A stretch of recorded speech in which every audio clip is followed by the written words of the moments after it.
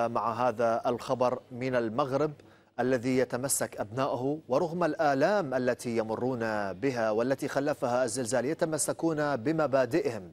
مثال على ذلك الخبر الذي ستكمله مايا. فقد أبى محمد مواطن مغربي أن تتلقى بلاده مساعدة من كيان الاحتلال لمواجهة أثار الزلزال وقام بقطع الطريق على وفد إسرائيلي. فلنتابع.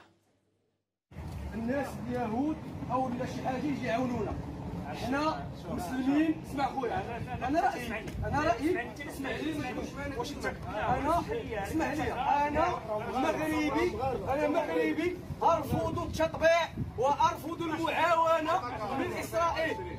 أنا مغربي ارفض التطبيع ارفض التطبيع وارفض المعاونة ديال إسرائيل. أنا مغربي مسلم لا أريد التطبيع ولا أريد معاونة